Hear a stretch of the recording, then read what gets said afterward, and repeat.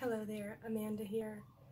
There's some commotion in the next room. My husband has the day off and he's hanging out with my daughter watching a movie. So that might be kind of loud, but I wanted to try to do this while they were preoccupied. So let's see if I can get this done in the next couple minutes. I have a Dollar Tree haul today. Um, it's very small and it's kind of all over the place. So um, I just picked these things up this weekend and they have Halloween stuff out, fall stuff out, Christmas stuff out. Um, so I actually have stuff from a couple different sections. It's all over the place. It's not just homeschool stuff either. So um, the first thing I picked up is for Halloween actually. Last year I was looking for this creepy cloth stuff high and low. And if you don't know what it is, it's like this gauzy stuff. I don't know, I just, I want to hang it up in the corners of my house. And I could not find it anywhere last year. And I mean, it's the first week of September and I found it at Dollar Tree. So that's probably why I couldn't find any last year. It was probably just all, all gone by the time I went shopping. So I picked up two of those. Um, the next thing I got are these wooden acorns.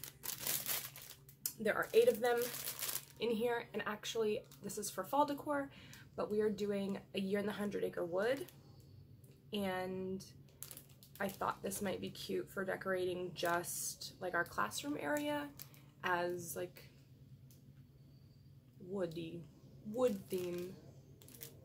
Know, they're acorns, that's cute, right? I had a plan, so I bought them. I don't know. Um, the next thing I got, actually, I'm so excited about. I had no idea this box is messed up because it got stepped on, but this is I know that there's a brand that sells these and I don't remember what they're called, but they're very popular and it's just little plastic animals in a box. And these were at Dollar Tree. Now I know they're not gonna be as amazing quality and the colors are definitely off and the sizes are a little weird. Like there's like two different size horses or whatever and the horse is like three times as big as the cow. So it's not incredibly accurate but for a dollar I thought this was an amazing find. So I got farm animals and I got wild animals. So in the farm animals there are cows horses sheep like a goat. Yeah and then in wild animals, there's a hippo, a giraffe, a monkey, a tiger, a lion. And again, the color's not right. And the, there's like a gorilla in there that's smaller than the monkey that's in there. so, but that's cool. And this is this one says it's a pack of 10 and this is a pack of 8. Next I picked up these they're called button file bags. So these are like document holders. And this is a pack of three for a buck, which is why I picked them up. I actually prefer the ones that are zippers and mm, expand a little bit more. I bought two packs of these, so I'll show you this pack because I already opened it. It's just this size, but it doesn't expand on the sides. It doesn't like open up on the sides, which I prefer the ones that do open up so I can fit more in them. But these are big enough to fit an entire sheet of paper and there's still some extra space here.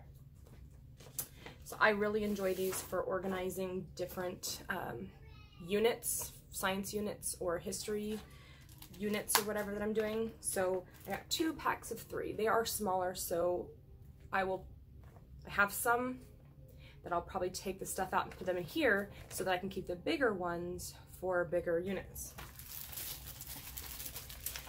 And you can get some for a dollar a piece. I just picked these up because there were three in a pack, so that was a better deal. even though they're not exactly what I wanted. And then I found this. This is a beautiful book. I've never heard of it. I don't know who this guy is. John Wesley Powell, The One-Armed Explorer. I don't know who that is, but this book was originally 17.99 and it's a hardback with a dust cover and the artwork is very nice.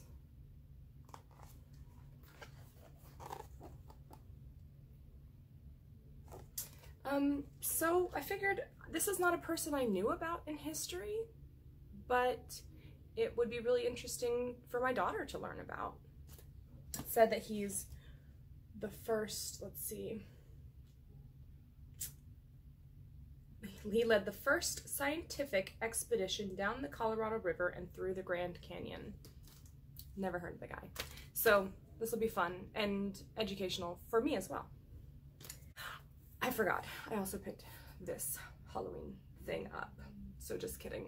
I have two different Halloween decorations. Um, this is a sign. It doesn't actually say how long it is. I guess I could figure that out for you.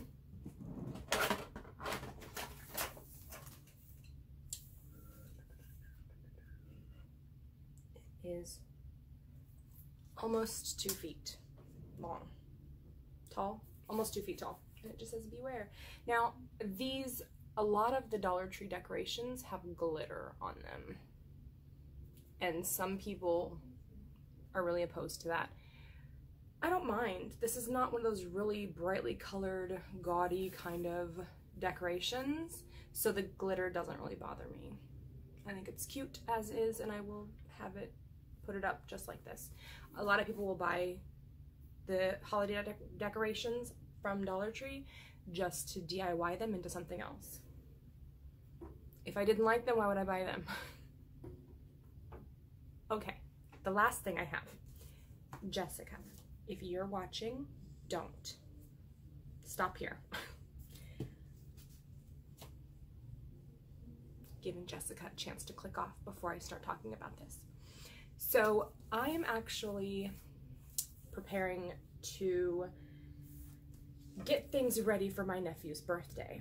And I've been told that his birthday theme would be ninja themed. And I saw this at Dollar Tree and thought it was so cute. So it's a book called Ninja Attack of the Clan and it is very cool. First of all, the cover is like matte in the background and then all the letters and the character is like a shimmery kind of material. So it's pretty well made. This book was originally $16.99 and it's very cute. So this is just the inside cover. The book itself is like a graphic novel or comic book style with the different um, panels, with the different panels. So it's very cute. And since I'm doing a whole ninja theme and I needed a gift eventually, his birthday's not for a couple months, but I just saw this and I couldn't pass it up. So, and these are both really incredibly look, good looking books for, for Dollar Tree standards.